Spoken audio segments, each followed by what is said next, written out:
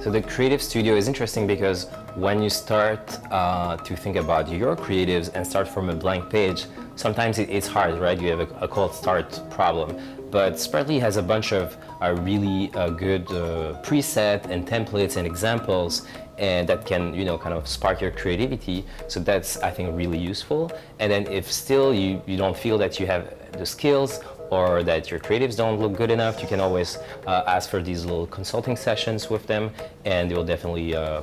provide the help.